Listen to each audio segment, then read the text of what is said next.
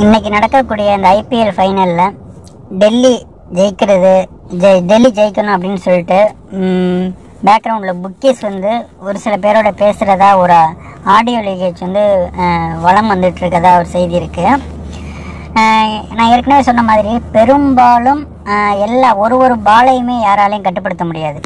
அப்படி கட்டுப்படுத்த முடிஞ்சிருந்தால் விளையாடாதவங்களே ஒன்றுமே தெரியாதவங்களே கிரிக்கெட் விளையாட போயிடலாம் நல்ல பார்ட்டிசிபேட் பண்ணி சூப்பர் ஸ்டார் லெவல் நல்ல ஒரு ஸ்டார் லெவலில் இருக்கிறவங்கள சூப்பர் ஸ்டாராக மாற்றலாம் அதே மாதிரி கடைசி ரெண்டுமே டஃப்பான டீமாக இருக்கும் பொழுது யார் ஜெயிக்கிறது தோக்குறதுங்கிறத ஒரு மயிரிலையில் இவங்க மாற்றுறதுக்கான வாய்ப்புகள் இருக்குது அந்த மாதிரி மாற்றும் பொழுது மக்களுக்கு சந்தேகம் வராது.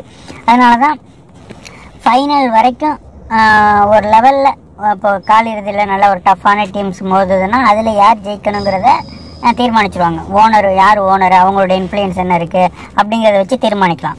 அதே மாதிரி ஃபைனலுக்கு போயிட்டாங்க அப்படிங்கிற பட்சத்தில் அந்த லெவலில் தீர்மானிக்கலாம். அதே மாதிரி மேட்ச் ஆரம்பிக்கும் பொழுது முதல் மேட்ச் வந்து பெரும்பாலும் எல்லாரும் க்ரௌடை வந்து புல் பண்ணுற மாதிரியான ஒரு மேட்ச் அதனால தான் சென்னை ஜெயிக்க வைப்பாங்கன்னு நான் சொன்னேன். அதே மாதிரி நடந்துச்சு. ஆனால் இந்த மேட்ச்சில் அதே மாதிரி மும்பை வந்து ஃபைனலுக்கு வரும் அப்படிங்கிறத கணிப்பு சொன்னோம். ஆனால் மும்பையோட பெங்களூர் மோதும் அப்படின்னு சொல்லிட்டு கணிப்பு இருந்துச்சு. ஏன்னா தோனியோட உதவி தேவையில்லை. இனிமேல் ரிட்டையர் ஆக போகிற ரிட்டையர் ஆகிட்டாரு அதனால வந்து அவரை வந்து க- காலிறுதி கூட வரவிடாமல் பண்ணிடுவாங்க. ஆனால் ஆரம்பத்தில் தோனியோட ஃபேம் இருக்கிறதுனால அவர் ஜெயிக்க வச்சாதான் பழைய லெவலுக்கு திரும்பிட்டார் அப்படின்னு மக்கள் வந்து பார்க்க விரும்புவாங்க. அதனால் அவரை ஃபஸ்ட்டு மேட்ச் ஜெயிக்க வச்சாங்க. மும்பையவே. ஆனால் மும்பை வந்து ஒரு பெரிய ஆளு ஆளினுடைய டீம் அப்படிங்கிறதுனால எப்போதுமே அவருடைய லெவல் வந்து நம்பர் ஒன்ல இந்தியா லெவலில் இருக்கிறதுனால அவருடைய டீம் வந்து அவருடைய இன்ஃப்ளூயன்ஸ் அதிகமாக இருக்கிறதுனால எப்போதுமே பிளே ஆஃபுக்கு வந்து ஃபைனல் லெவலுக்கு வந்துட்டு தான் இருக்கும். இன்னொரு ரெண்டு மூணு சீசனுக்குன்னு வச்சுக்கோமே அது அவரை விட ஒரு பெரிய ஆள் டீம் ஓனர் வர வரைக்கும் அந்த மாதிரி இருக்கும். அப்படிங்கிறது என்னுடைய கணிப்பு. ஆதாரங்கள்லாம் இல்லைன்னா கூட ஓரளவுக்கு பிஸ்னஸ் அனலைஸ் பண்ணும்போது என்னால் சொல்ல முடியுது.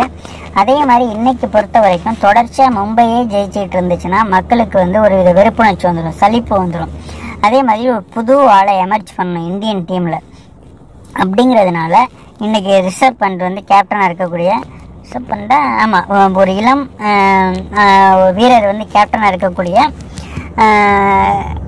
டெல்லி டீம் தான் இன்றைக்கி ஜெயிக்கிறதுக்கான வாய்ப்புகள் ரொம்ப இருக்குது அதை நோக்கி தான் புக்கேஸும் நிறையா பண்ணியிருக்காங்க. ஆனால் மயிரிழையில் மும்பை தோக்கிறதுக்கான வாய்ப்புகள் இருக்குது இதனால போராடி தோத்தாங்கடா அப்படிங்கிற லெவல் வரும்பொழுது மும்பையே நம்ம திட்ட வாய்ப்பு இல்லை ஆனால் இதுக்கு முன்னாடி மும்பையோட இவங்க விளாண்ட ரெண்டு மேட்ச்லையும் தோத்தாங்கல்ல அதுக்கு காரணம் இதுதான். ஏதோ எதேச்சா ஜெயிச்சிட்டாங்கடா அப்படின்னு நினைக்கும் பொழுது மும்பைக்கு ஏற்கனவே உள்ள ப- பல ஃபேன்ஸ் அவங்கள விட்டு போக மாட்டாங்க. ஆனால் புதுசாக டெல்லி எமர்ஜ் ஆகும் பொழுது இதன் மேலேயும் க்ரௌட் பிள்ளைங்க வரும். ஸோ ஒரு டீமை நோக்கி குவிஞ்சிருந்தது சென்னை போனதுனால இப்போ டெல்லியை நோக்கி குவியும்.